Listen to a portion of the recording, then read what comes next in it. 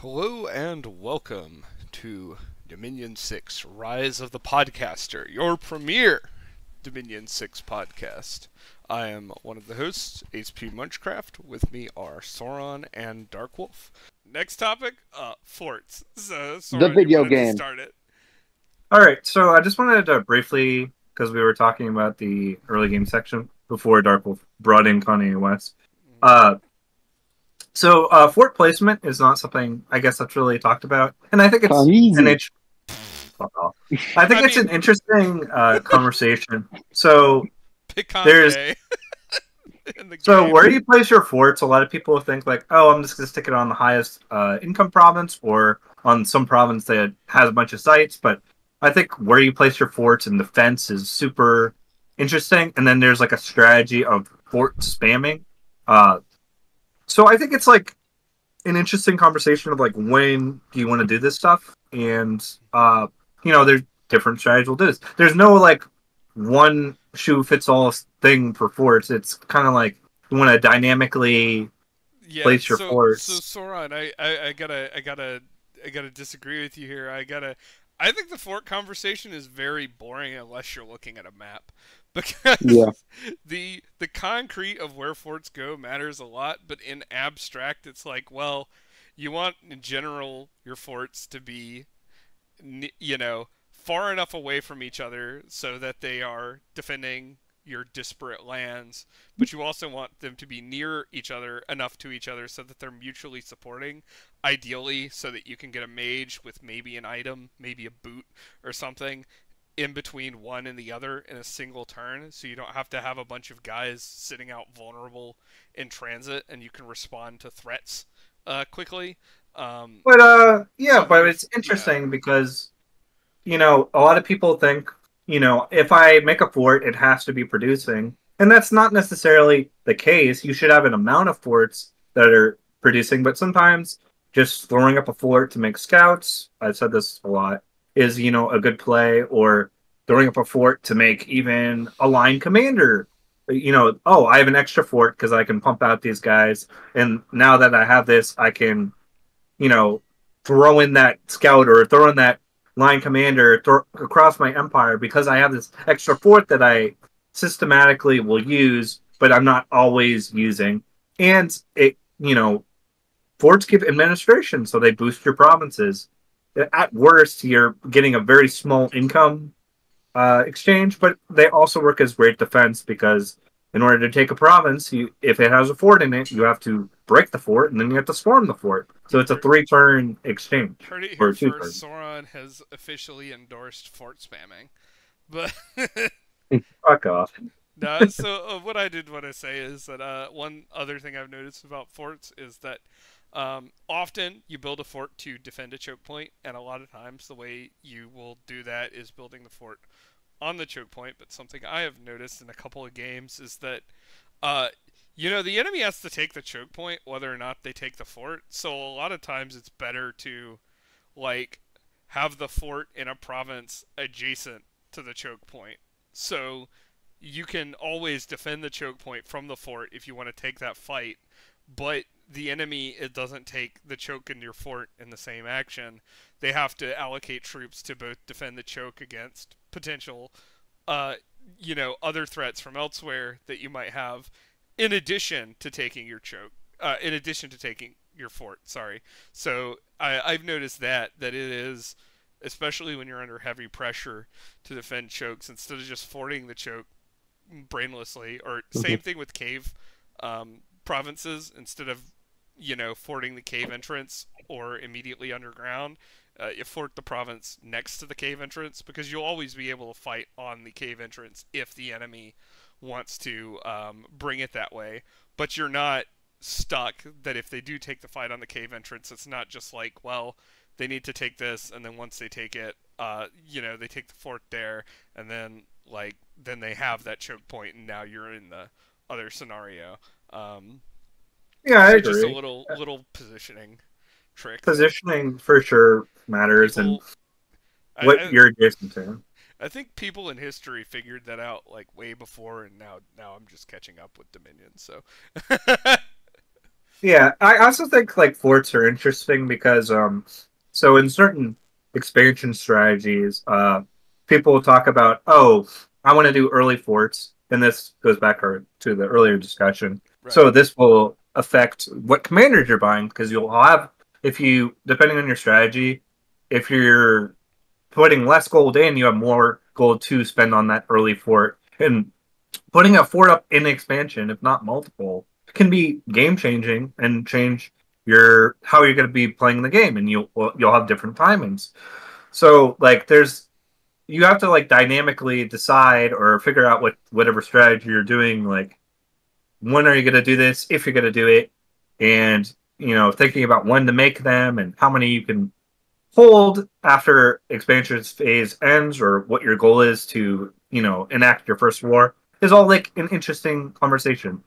Uh it, it's funny a player that we normally make fun of crumdom he's a big proponent of recommending early forts and it, he has like a cool strategy where he he gets rid of mages and uh you know he just focuses on on expansion and putting up early forts. And, you know that's his way of playing and i think that's a cool way you can play. The only problem that he gets himself into is he thinks it's the only way you can play in the optimal way and he gets into vicious arguments about this. So it, it kind of distracts from like this cool strategy and alternative way you can play the early game.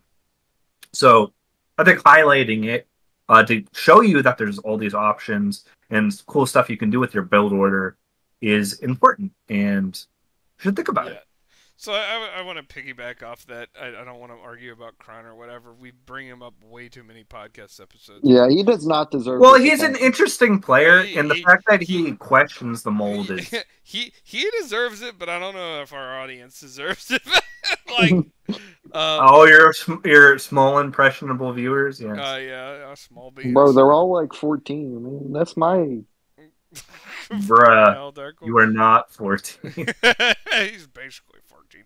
But uh, So- so I do I do want to say that like yeah, if you are a if you are say resource capped or rec point capped or in in any ways not gold capped in the early game, uh, then say forfeiting mages to put an early fort in your build order can be legitimate, especially if you're worried about being rushed. Like if you are, for example, end, you are going to be holy point capped because you cannot make more shit off your capital. Now you can spend that on early temples, and those do give you advantage because you can recruit out of that. You can spend them on labbing indie provinces, and those will give you certain advantages, and indie commanders. But you could also spend that money on an early fort because ends sacreds are very efficient for their gold costs. They're very gold efficient, but you are inherently capped. You can't spend all your money, so it maybe a turn, you know, five or six fort is the correct play, even if it's like in your cap circle, because Lord knows you're not using all your resources.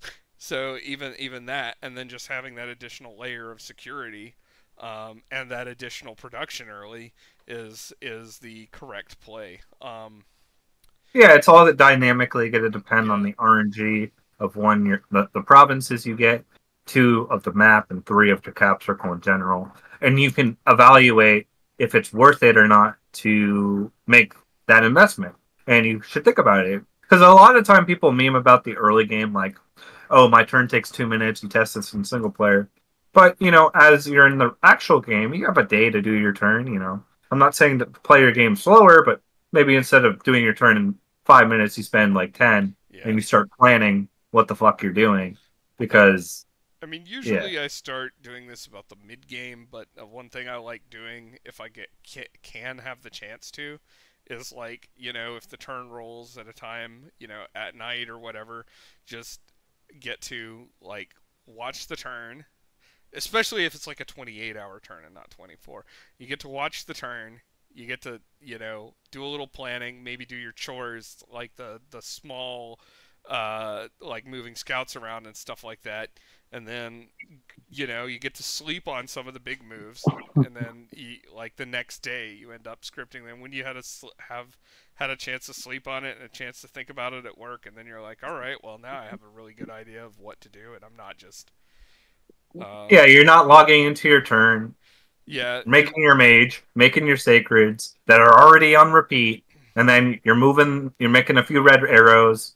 You, you put up your basic script, and you're pressing E. You're, you're actually playing this gigantic strategy game that is Dominions, because that is that is why we're playing this niche, stupid strategy game that has all these alternatives. No, don't you Yes, call my game stupid? You we'll, stupid. We'll get, we'll get to we'll get to that in a minute. Yes, Uh, you can coast through what Dominion. I, what I Yeah, so I just want to briefly because we talk about Diplo a lot, and um, mostly I want to talk about like what is your goal when you play Dominions, and for some people that is to Diplo. Uh, some people will be. Uh, there's a guy named Boz. He's put out a video, and his goal of when he plays Dominions is to play the psychology of people, and he's honest about it. If anything, I'll give him that. I don't agree with, you know, that's not the reason why I play Dominions. I play Dominions because it's this grand strategy game, and I'm I want to see how they interact on the map and do all this like fancy stuff.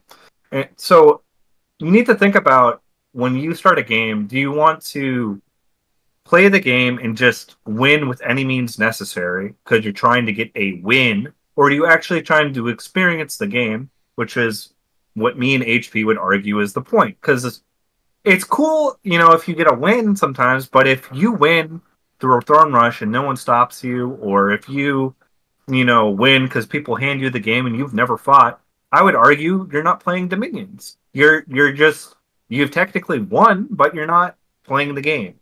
And that's not why I play, and that's not what I'm I would be looking for. So you should think about why you're playing. And you should ask yourself, what am I trying to experience here? Is it to play the psychology of people and get that you you know, you're trying to pretend like you're friends and with someone and try to get into their head of like, oh, he doesn't want to attack me. I've been so friendly to him and I've put all this effort into, uh, you know, buttering up to this guy, so he's not going to attack me. No, like for me, I want to see that what the other player does in my scripting, and I want to have a, a fight. You know, I, I kind of view it like a like Valhalla, like you're you're you're there for the fight. You're not there for the the Right. the Yeah. moral winning of well I, I won the game. I guess this is this is a little bit this is this is more on that topic of why you know why do you play the game than it is on on like Diplo? Because it's like you know if you It- if you enjoy Diplo you might you might play the game because you just like talking to people about the game and about the game state and formulating plans and plots and alliances and stuff like that. But uh you know like eh, like Soron says that's that's not why I play the game you know I, I talk enough about this game on the forum and the podcast or whatever. Uh, you know, when I'm playing the game, I want to actually play against people and then see the new tech, see them do cool shit with their units. I want to do cool shit with my units, that kind of thing. So I'll, you know, I'll actively make suboptimal decisions sometimes Diplo wise because I just don't want to fool with it. Like I, I think I was talking to Soron before the game. There's a lot of times where someone will ask me, "Oh, you're you're near this throne. Are you throne rushing?" And I'm, I'll be like, yeah, I'm throne rushing. what do you expect me to do? It's like the optimal set thing from a winning perspective there would be to just lie your pants off. Like, just be like, no, I'm not throne rushing. You should really be worried about this guy halfway across the map because he's a real big threat. And it's like, it, no, whatever. I'm throne rushing. Come at me. Come stop me. You know, good job if you do. like, Yeah, I mean, what's more exciting, uh, ending the game through a throne rush where you had no opposition and it abruptly ends, or winning the game, you throne rush, you have some epic fights as the game ends? You know, that's like that's a cooler conclusion. And Yeah. and I just feel like people get lost in this. They're, they Right. they are like, oh, I just want to win. I don't care if it's lame as fuck. But it's like, Well, yeah. why are you spending the three months to play this game? Well, people, For- people for- will, yeah, people will say they just want to win. They'll, they'll be like, yeah, I want to win the game. I want to do the optimal play, and people act on the forums like that's, you know, you're you're wanting to do the competitive thing. But uh, then when you get into it, actually, like, if if that was the case, you'd see a lot more people playing the busted meta build of the week, like constantly. And people in Dominions generally don't want to do that. They value the creative aspect of the game. So they, they don't want to just win. They want to win on their own terms. They don't want to just um, just win typically.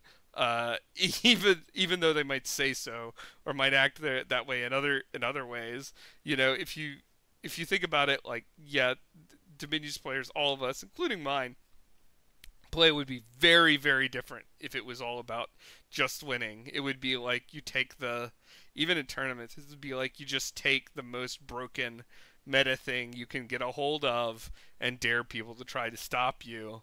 Um, you know, you take the Statist combo or whatever, and, and, and be like, yeah, play Haterade with seven other other players in the game, and they'll they'll run you over. Um, Yeah, I mean seven, but but that's what what's going to happen. No one's going to take. if you take the statist build and people recognize it, they're like, "Oh, he's probably not going to be a lameo and take the the really busted build," and then they get surprised Pikachu face when they take their suboptimal build and you ran your cookie cutter overpowered Right. bullshit, and then and then you know they're stuck trying to counter your thing that's clearly not balanced and have well, fun. It's, it's like you know, if if if people were actually playing to win, they they do that, and I wouldn't I wouldn't really begrudge them that if they you know if they're if you're really cutthroat playing to win, I wouldn't begrudge you any of that. Um, but I do feel like there is a little bit of a disconnect where, in certain ways, people will be trying to play to win or, or really focusing in on like what's the best thing and then in other ways they're just totally throwing or like not you know clearly not playing to win like if i was playing to win every game you know i'd like to think i am playing to win tactically on the board but if i was actually playing to win every game i would be making sure to do more diplo and more trading and like actually trying to play the players uh, in addition to the game uh, and I I don't know because I just it's not interesting to me. The actual Bro, like like, like people play video games for fun. That's that's the crux here. Yeah, you're playing for fun, and if the game isn't fun, why are you playing? right.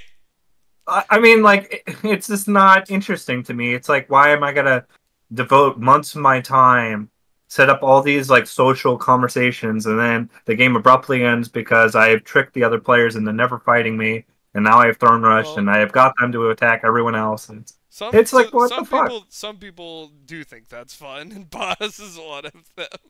Yeah, and it's like, it's like I respect that he's honest about it, but I just fundamentally disagree with him, and I think it's lame. And it, you know, if Boz is in my game and we're playing, the first thing I'm gonna do to counter him, I'm just gonna block him. you know, he can't diplo me if I'm not talking to you. Well, So it's like, I'd, I'd probably attack him or something, but uh, yeah, I'd attack him, and it's like, it's like, no, we're we're not gonna talk because I know you're not trying to play the game. You're trying to play like the politics of it, and you're trying to you're you're trying not to interact with it's and then it's like, listen, you can use whatever tools that are at your disposable, but at the end of the game day, I still want to play the game, and maybe that will contradict with quote unquote winning, but I'd rather have a good fight than to do that. Yeah, and I don't want to do scoutless behavior uh, habits where you know I'm presuming that no one's gonna lie in our DMs either. It's no, like that- no, listen, this is this is one area where I'll go the exact opposite, be a complete hypocrite, go back on what I'm saying, and say like, I, I you know, fuck you if it's not fun. You buy some fucking scouts, man. Like- li- listen, uh, the fact that no one, a lot of these people who are like really into the psy- psychology of it, it's like you know why would I scout when I can use the external Oh, tools of Discord? for a while. Like, even Like, like the fact that no scouts one gets punished yeah, like, Like, people get punished. The, like, like, I think you need to talk, bring up the psychology. Like, so making screenshots and sending all this stuff is not a feature of Dominion's multiplayer. It's something that people have added to the game inherently through playing. So, you know, Illwinter does not give us the tools and the instant communication to talk to each other. This is an external thing to make the game easier, and and as such has warped a little bit how the game is played. So the fact that no one, you know, it, is questioning like, oh, maybe the screenshot of this guy showing me his map, you know, it's not. It's because it's never fabricated. You know, we always reference this Gono guy, but you know, he did this, and it's like, yeah, why? Why would you take this stuff seriously?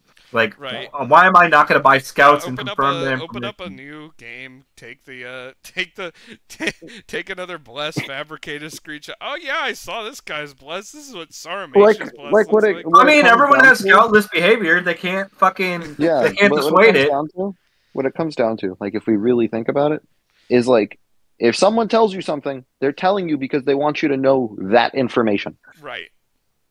and whether it's true or not does not apply into their operandi. A classic one, right, is not to do anything blatantly falsified, but to say, oh, this guy's been thinking about attacking you, or to say his armies are over here, or he's vulnerable, right. or he's doing, uh, he's he's greeting.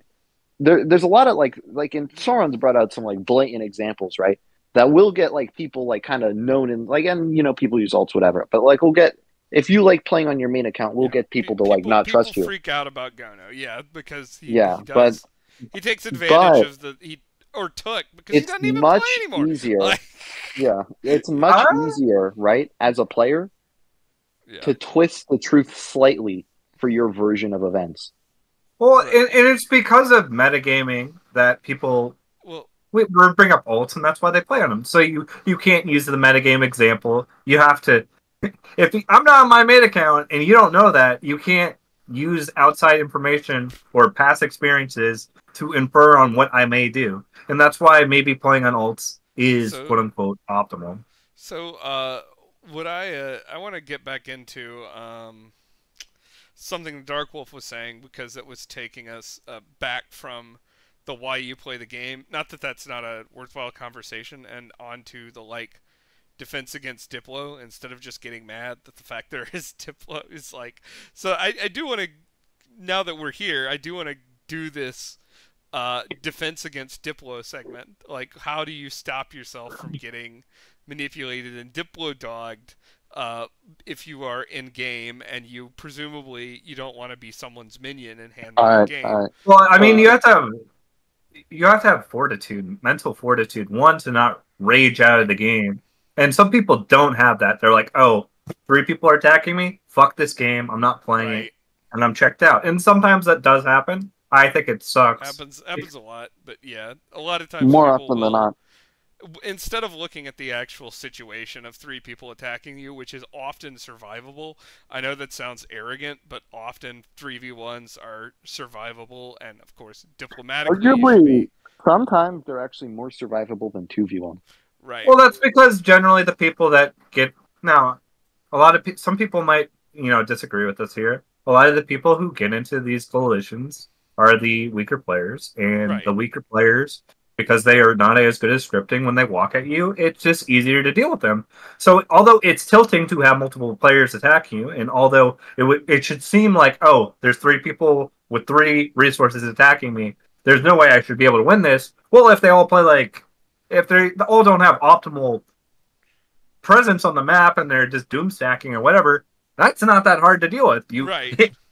If you take out all their their eggs in their basket, well, they're fucked, and Right. they're playing so risky, And and they're banking on.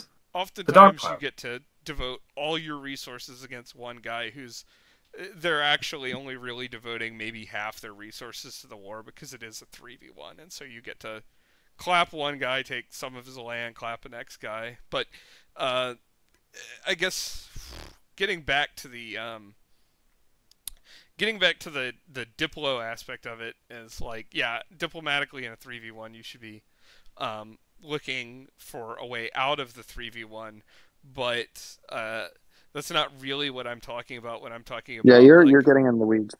uh, yeah i am but that's not really what i'm talking about when i talk about defense against being diplo dogged what i'm really talking about like if you're the guy who's getting 5v1 coalitioned then it's kind of too late. And what the cure for that, I think Dark Wolf said this before the episode started. The cure for that is actually to have better Diplo yourself, and to try to not get 5v1, try to not get it to the point where all your neighbors want to attack you. But the more important skill as a player, I think, is to avoid the situations where you're just acting in someone's interest because they diploed you and where they are you know, like Dark Wolf was saying again, you want to think critically about the information given to you.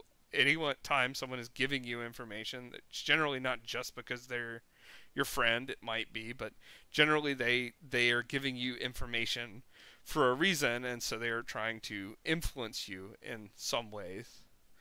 Um, so I do want to talk about like some of the some of the ways that that can go down and some of the defenses you need to have up against that. And i think a big place to start is uh anytime people are talking about who's the like big threat if it's not super fucking obvious and it's not someone is imminently throne rushing, like that is all should be absolutely fucking suspicious.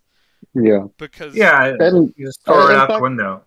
uh, in fact, I I often find right yeah. in and this is this is gonna make them sound like a different species. In a Diplo dog's eyes, silence is as damning as a declaration of war oh, or absolutely. refusal of a nap. And as someone, right, as someone who does not like naps as a concept, people are like, "You want to be friends?" I'm like, "Yeah." They're like, "Nap three. I'm like, "No." That to them is a sign you are going to attack. I Right. just don't like breaking maps if I can avoid it, and so like maybe if I'm still on the edge, I'll I'll use the excuse I'm finishing expansion first. Right. right? But like ultimately, and you see it in the new game with in-game naps if people have those turned on. Oh no. Where I, I refuse to sign yeah, those no, on fucking principle. don't sign that shit. Yeah. I'm not gonna.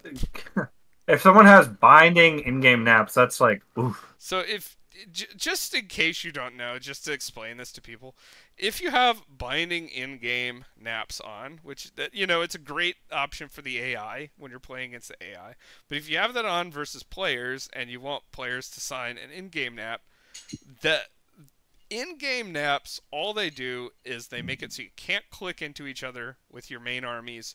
You cannot use rituals that are directly traceable to a player on them and if you ever end up in a battle i believe both your forces it might be attacker routes first but both your forces will route.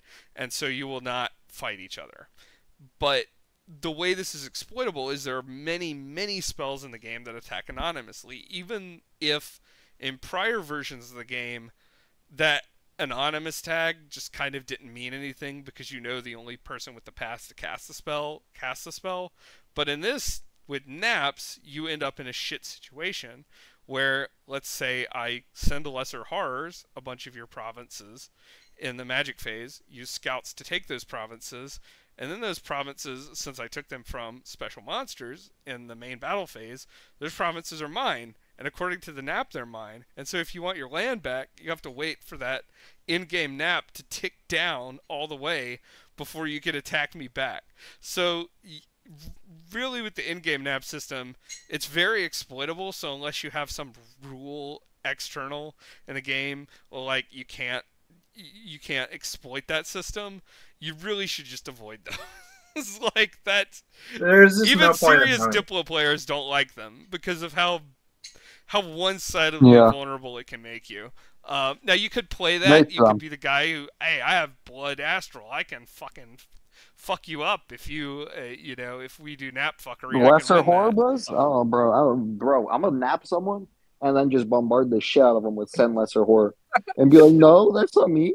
No, but you're the only blood S nation in the game. Well, it's not me. We have a nap, remember? Fucking hell. And then and then they're like, you broke our nap. I'm like, I never signed a nap in Discord. This was an in-game nap. It's a different thing. Go take a nap, buddy. I mean, I, I'm sure people are gonna be like, like that. I would never allow that, and I would ban anyone who. It's like, well, don't have it on. Yeah, that's that shit that shit sucks. Or or just literally like you would have to literally ban it in uh in the game thread beforehand and then also get ready for some massive forum argument if there's Yeah. two people who can cast potentially cast it. Like you'd Oh, have and to go into their turns to see who actually did the cast if multiple people can do that. And can you Yeah, and then it, it, it's took an event stupid because if someone's if someone's throne rushing, you can't stop them from throne rushing if you have a nap three. it's just fucking stupid. bro. Anyway, uh, beyond in-game naps, right? The other trick to understanding Diplo dog is the honest truth. Diplo dogs, half the time, like there's two type of Diplo players, right? I feel like this So- is a slur you keep on using. Diplo You came Yeah, up with well. it, motherfucker. yeah, I did not. yeah, you did. No, that was Lolo who came up with it. I just parroted it. No, I just a parroted it. Uh, listen, like listen, listen, listen. One of Swear on the those double. D's, right? One of those double D's. Jesus Christ. You know what I'm saying? No, no, now They- you made it worse. They're Uh, they're divided into two categories. All right, Okay, a homie. Diplo, a Diplo rat, or a Diplo mouse. All right. Jesus. All right. now, now, now break it down. What exactly do you think? All right, explain yourself. Uh, I'm listening. So, so, so well, I'll, I'll go with the Diplo rats first. Diplo rats, but really, I just wanted to use the word Diplo rat, but like a spider is more applicable. They got a web of strings. They're manipulating people, they're manipulating events, and they're using diplomacy as a tool for their game state, right? Right. Generally, they have some character traits that make them anything but like the perfect Dominions player. Whether they get offended easily, they can't stand betrayal, or they can't stomach it themselves. But these people like Lucid, Aura, not Aura, what am I saying? Aura. Fuck, what's his name? Oh. Oh God. Oh God. No, no, give me a second. Aaron. Oh, you're talking about Nick Knight's friend. Okay. So People like that, right? They get into these games and they'll talk to you and they'll be your friend. But they ain't just your friend, man. I'll never forget when I heard about how Aaron won a game by buying everyone's thrones well, as the just- weakest nation. This that is literally he said, "I'll just keep this from scoutless your enemy." behavior uh, on the part Yeah, of the I'll- opponents. But but yes, that okay. scoutless behavior. Don't And then, don't don't and then scouts. there's a diplo mouse. Diplo mice are these these people's weapons of war. Often they're newer players, or if not newer, they're not confident. Right? Uh, It's not their fault, right? I don't want none of this is insulting. It's their fault. Unless you're Aaron. Aaron, I mean this as an insult. I want you to know. I'm looking into the screen right now. But for the rest of you, like for, for new players, right? It's not it's not their fault necessarily. It, But they're they're led by the nose generally. They're suspicious unless you talk to them and then suddenly they're your best friend. They misunderstand a lot of the concepts we've talked about, which makes them very easily directable. And most importantly, they don't build scouts. so uh, These are actually usually your greatest threat. So I want to talk about the, the people that you just called diplo mice, which is I'm not going to use that. That's a terrible fucking metaphor. Uh, but that that's just typical Dominions player behavior. Uh, it's the one of the things that Unfortunately. and that's that's why I kind of want to wanted to talk about defense against diplodoggery, not from the perspective of someone who gets 3v1 or 4v1 because at that point your defense is you need to be more diplomatic, but from the perspective of a person who is being approached for diplo, uh, typically, you, you know, and the, and the diplomancer is trying to convince you of something, or so one of your allies or something is trying to uh, convince you of something. Because if you are a player and you, maybe you're pretty good, maybe you're not, maybe you're mediocre, whatever, but you, you keep playing games and you think you're doing things right, and you think you're doing things right, and you have an ally. And then there's someone who's going to threaten to win the game, so you have to coalition them and then there's another person who's a big threat to the game and you coalition them and then there's another person who's a threat to the game and you coalition them and then your ally wins the game and that keeps happening over and over again. Uh, where you keep doing the quote unquote like the, what you think might be the right play what what is supposed to be according to the community the right play. You're always coalitioning the big threat who's going to win the game and then one of your allies wins and you always lose, uh, you're getting played, homie.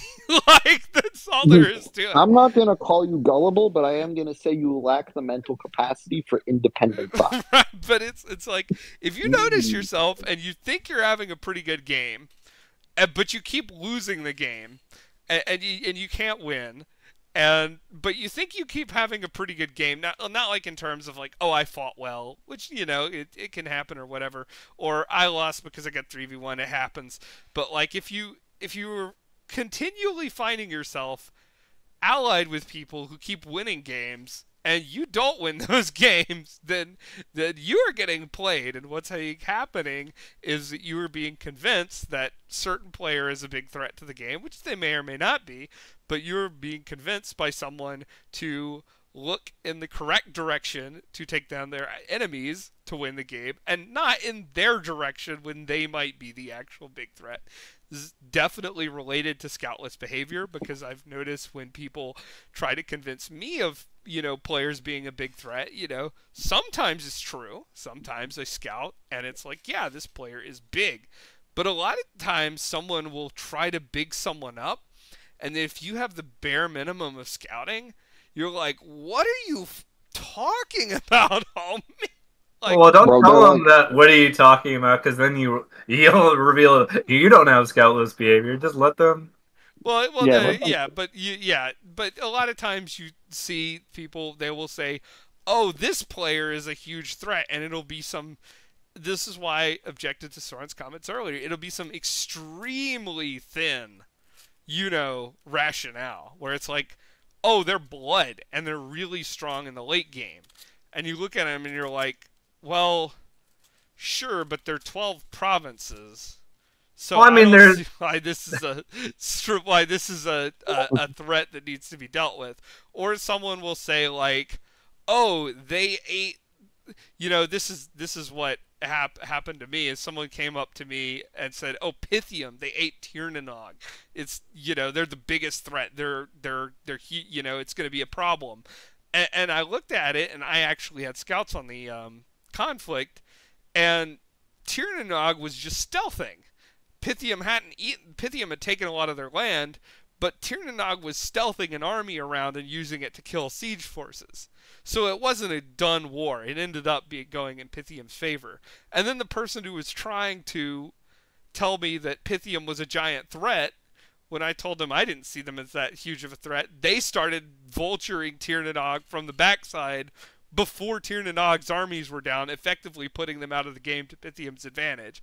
So that just goes to show you that, like, a lot of times this big threat talk is either ignorant players being ignorant at you and wanting you to share their ignorance, or it's players trying to give you a runaround, trying to get you to uh, want to take out what they see as a big rival uh, with them. When in reality, if you you actually look at it, it's like, well, had the player, the statist player, uh, not backstab stabbed Tir na n'Og while they were fighting Pythium, when you know, then Pythium would be a much less relevant player. They would not. They would have been involved in that war for a long time, and if they were a good war target, it would only be because so many of their forces had been caught up. And then eventually, that Pythium just like ended up sitting around in that game and doing fucking nothing. I think the there's like game. for I think there's for sure a nuance on some of the conversations.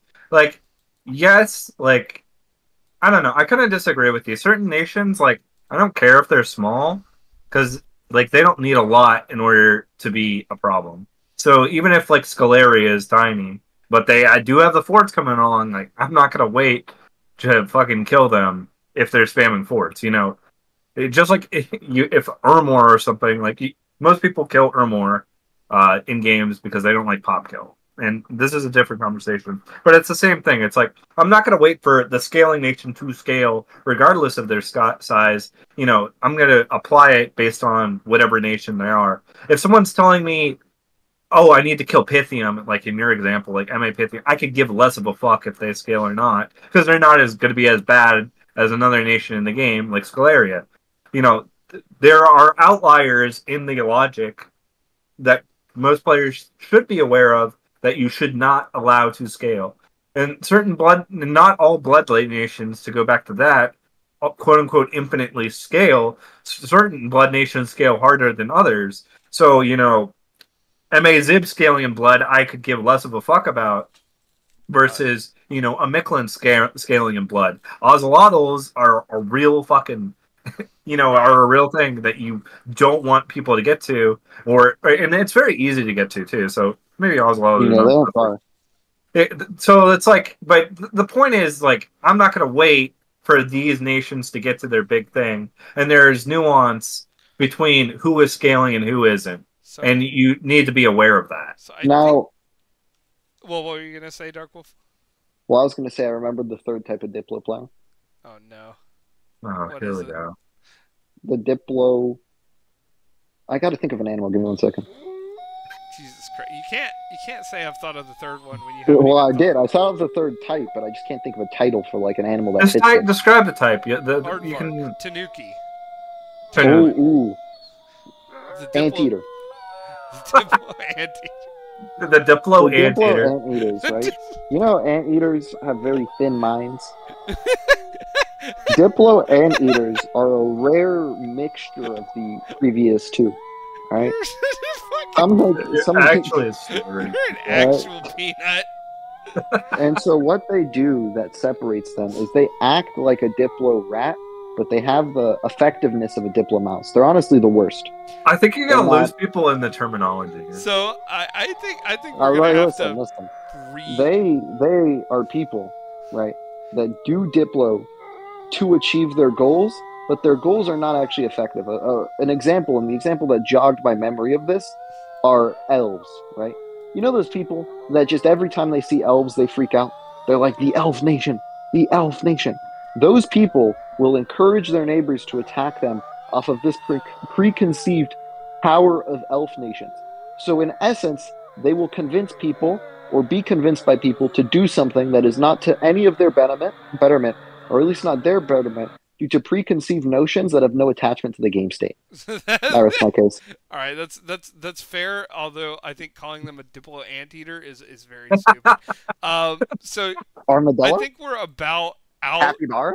Unfortunately, we're gonna have to like get the, the like resume this topic later because I think we've just about run out of time. You've got to go, right? You were saying Dark Wolf, so we're probably going to have to leave Diplo unfinished and get back to it and, and, and give you some real information instead of just being mad that Diplo exists.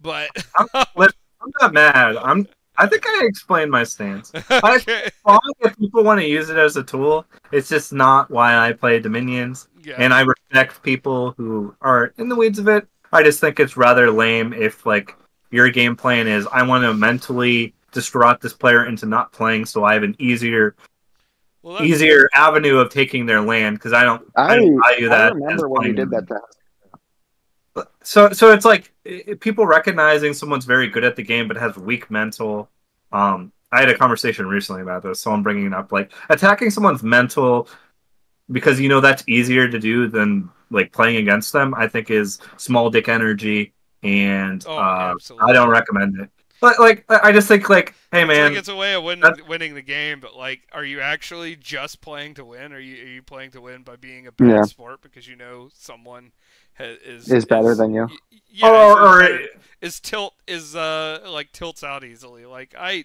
Yeah. I probably tilt out more easily now. I used to be pretty pretty um tilt resistant, but And I've never tilted out. i i have tilted out of games Homie. before i've definitely i've Dark definitely Wolf- You know tilted who's the easiest to tilt out? you tilt out Johnny. you tilt out of games you're winning. Darkwolf. You're Yeah, fucking terrible. That does happen. That's You- not tilting out. That's just like losing interest. Dark Wolf, you have i mean it's part of the I don't same even lose- weak, I don't you have even weak lose mental interest. no matter what. You I don't even MR lose too. interest. The I- I- better I'm doing, the lazier I get, and then horse suddenly stuff gets tight, and I like start sitting there for two hours MR. editing. yeah, fuck you. I'm leaving. I'm leaving. No, no, no, I all right, all right. Good, that from you. good night. Yeah, we're we are having to call it to a close here. We'll have to resume this conversation later because I think it's good. But uh, Oh, and you know what, Dark Wolf's Storm? out of time. Well, I don't know if you've ever heard, but there's a a band called Tool, and they got some good music. So it's not even an insult anymore. Oh wait, Dark Wolf, check this out. Yeah? Picanye West. I hate. Bro, I searched, I searched, I searched the word dog in my phone for photos to go look at a picture of my old dog, and I just had a bunch of foxes. All right. Bye. Good night. Uh, that was your uh, Dominion 6 Rise of the Podcaster, your premier Dominion 6 podcast. I don't know when we'll be able to record next or what it'll be about. Hopefully, we'll get to finish up the Diplo conversation without too much overlap or uh, just continual bitching. that was it. Uh, see y'all next time.